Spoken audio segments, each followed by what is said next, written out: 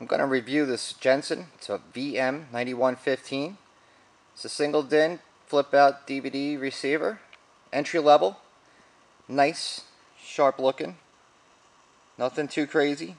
But you know, for around a low $200 price range, this is what Jensen's got.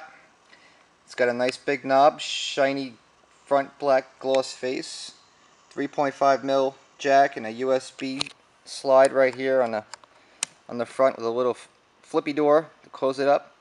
This is what the screen looks like when it's detached. Oh, and by the way, I'm in my new and unimproved location. You'll see that they got me working in the warehouse now. I'm no longer working up front. I'm not allowed. So before I open this up and show you the bells and whistles of how this thing works and all the gears and wheels, this is what you get in the box. Basic manual, couple stickers, manual, installation guide, standard 16 pin harness, Jensen's been using for ever.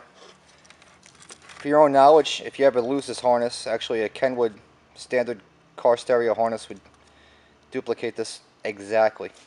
They also include a 3.5 millimeter cord, about 3 feet in length. You know, for free, who can complain? These here are the ISO mounting screws, brackets and a stop piece for the back of the receiver, and an extension for the parking brake. The unit itself, pretty straightforward. Trim ring, sleeve right there. On the back, that's where your 16 pin harness is going to connect to. And on this side, what you got, antenna input. This is where your brake connects to. You got a pair of stereo subwoofer outputs. You also have a front and a subwoofer preamp output. Note that there's no rear RCA. So if you wanted to utilize this in a six channel application like for front rear and sub, you'd have to use Y splitters connected off the fronts and do all four channels. However, of course, you will lose your fader.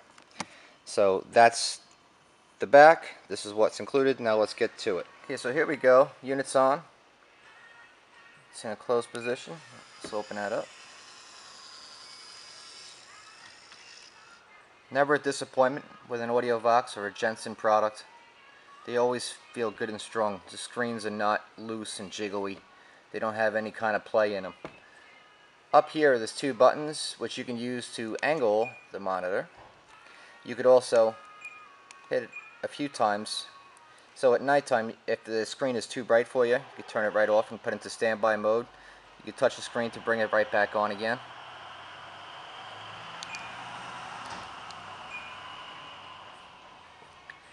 That there's the iPod that's playing currently. We'll get to that in a second. I want to show you some other stuff first. Over here you got a mute button. You, this unit also has a pretty good feature which is um, auto volume setting so that way when you turn your vehicle off, turn it right back on, you can set it so that way the screen will open and retract automatically by itself and resume the volume it, that it was at or whatever volume it is that you set it to be, which is a good feature. So that's a really neat feature. I think that that's a nice feature. Uh, this here is, of course, the main home screen. There's an iPod connected, so it's plugged into the front right here. There's a um, jack, like I showed you on the overview, in the bottom right for a USB. So that's where she is. And it's going to show you here when there is actually a connection. And It is charging the iPod. Then you got your settings screen, which we're going to spend most of the time in this video on. The camera, we don't have one connected, but if you wanted to override it and look at whatever's going on back there behind you, your trailer, etc., you would tap the camera button and see what's going on. Now, of course, if you put your vehicle into the reverse gear manually, the screen will override, show you what's on that image. Um, and it's also a very good feature with this. Um, it has a setting for the standard view of what you see in the rear view, or you could also reverse and make it a mirror image, which is a good feature. You don't really find that in a lot of receivers. So kudos for this one, especially being a pretty entry-level receiver. It's a pretty darn good feature your regular radio, uh, disc, and then your auxiliary input, which, you know, I don't know if many people use that, but if you did, you got three sets of RCAs like I showed you on the back of the unit. Um, so real quick, your radio, I'm not going to waste a lot of your time with the radio because, you know, it's the radio, right? So you could set your presets. You can do three bands of FM stations, so a total of 18 presets for FM and 6 on AM. Um, it also has a feature which I've never seen, which is direct entry. You know, that's new to me. So say if you wanted to type in um, 105.3. Hit OK. There you go. That's pretty neat. And this radio also has an RDS feature, which is the, the radio display feature. So that way, if your station is broadcasting with the information for the artist and the song and stuff like that, this unit will automatically detect that through the analog antenna in your car already. Doesn't cost anything. It works really well, and that's that's becoming much more and more popular. So you got that. Now let's jump on back to the menu screen. So um, real quick, I think I'll touch on the, audio features because, in my opinion, most important thing of having a stereo is how it sounds. Bells and whistles are cool and all, but what's it sound like, right? So once you actually have a source playing, such as a CD, the AM FM radio, auxiliary input, or the iPod or USB, if you're not an iPod user, you're going to get a little icon that says EQ. That's going to bring you into your EQ. Now, in another menu, there's a set where you can actually adjust the, the bandwidth of your low, mid, and high frequencies. That's new for Jensen. That's really cool. And as for an advanced user, uh, the manual is fairly explanatory about how that works. So you can actually go in there and just take your settings once you've adjusted them in the other screen and bring them up and down right in here. As far as your other EQ, if you're looking for a 9-band digital sound field processor or something crazy like that, you ain't going to find it. But you do have bass, middle, and treble. And also in another screen, there's a loudness feature, and they have another feature which is like kind of like a loudness feature.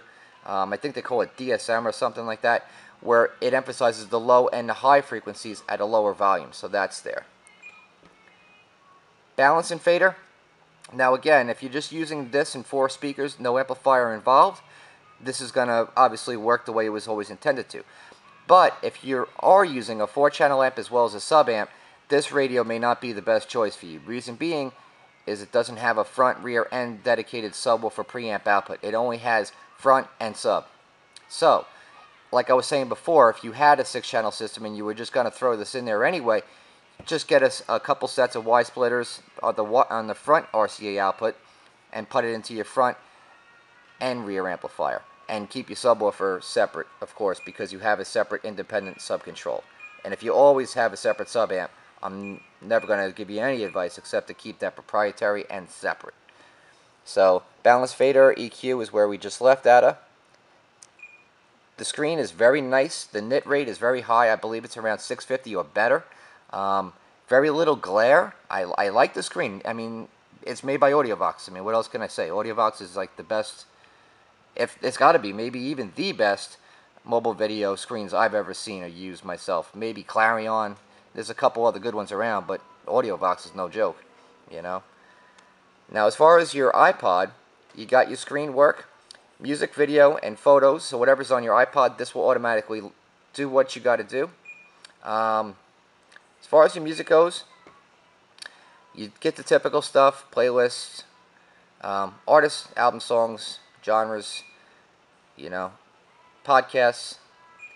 You know, if you bother to actually put all that information into your playlist, you know, I'm not one of those people, but if you did, most people are like me and just have the artists and songs. Pretty straightforward how to how to run through it. It doesn't have like the alphabetical search tool, which I think is really cool. You know, if you wanted to say find Pink Floyd, where you would have, you know, like a a thing on the bottom with mm, A to Z, and you could scroll it and move it, and it's much much more high-end and flowing. This unit doesn't have that. This one you have to work a little bit to actually find your music, but once you get used to it, I can definitely see you, you know, doing just fine with it. Again, we're talking about a $200, you know, DVD receiver here, people. This is not, you know, the flagship. Um, but so far, it's really not bad. The screen is very good. It's very clear. The contrast is good. The brightness you can adjust. Um, so, not a whole lot here to complain about, except maybe the navigation. But again, like I said, for what you're paying, you know,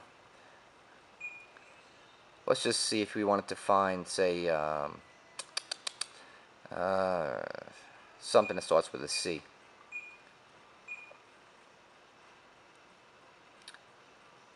You know, there's none of like this like you would expect expect an experience on a standard iPod. It's not like that. but it gives you all your songs, lists them out pretty well.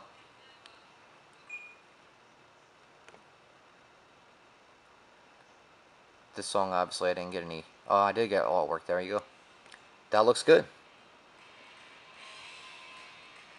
It's got a pretty good bright sound, I'd say, as well. I like it. Um, really not bad. I mean, definitely an impressive improvement from last year's model. Every year they seem to get better. They really did a good job of revamping this model, I must say. So, let's just get into the settings real quick.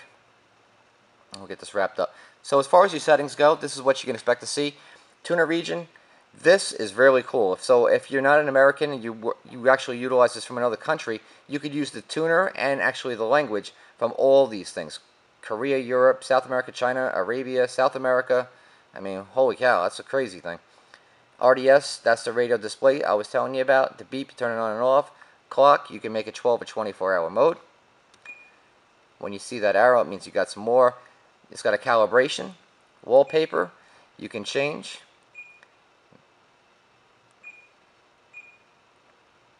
Wow, that one's pretty cool.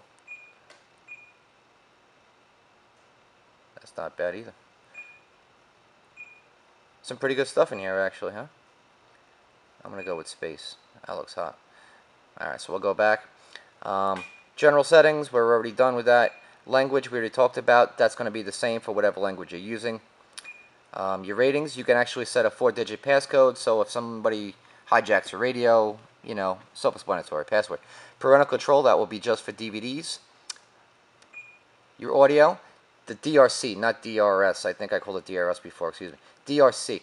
What that is is kind of like, it's an attenuation feature for lower volume. So if you typically listen to your stereo at a lower volume level, that's going to accentuate and make DRC is going to attenuate and make all the higher and lower frequencies sound much more ro robust at a lower volume level. Loudness feature, very similar. Subwoofer, you can turn it on, turn it off. It's also got a sub low pass filter. You got three choices. Could be better, but again, 80 hertz, 120 hertz, 160 hertz. Most people obviously use the 80. Um, and then you have a Q setting again for your bandwidth. Make it however you need it to be. Nice toy to play with. And then you got your mid Q, same thing as a bandwidth.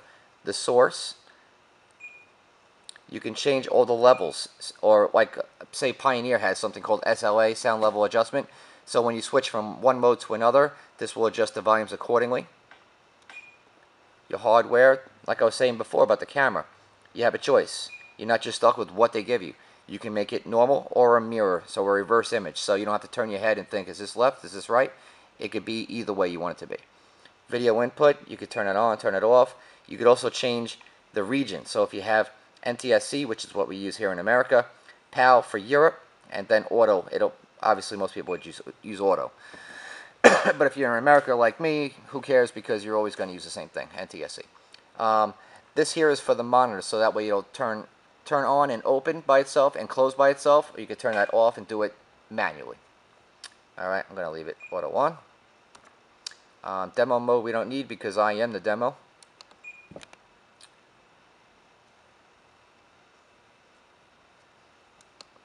Take me home. Um, now your discs, I don't have an MP3 encoded disc, but if you did, it would actually display all the artists and titles and stuff like that.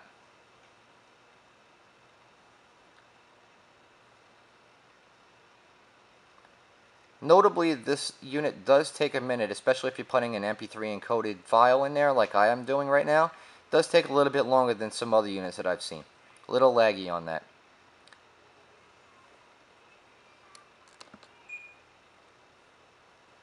And that's pretty much it. Um, I mean, this is a really nice unit for the money. I mean, hey, around 200 bucks, man, you really can't go wrong. And AudioVox, I mean, what can I say about AudioVox? They're a great company. I, have watched that company blow up over there on Marcus Boulevard in Hauppauge, New York. They are just huge. They own God knows how many companies now. They have Prestige, AudioVox, Jensen, Acoustic Research, Advent, you name it, man. They, they got it. So, it's a winner.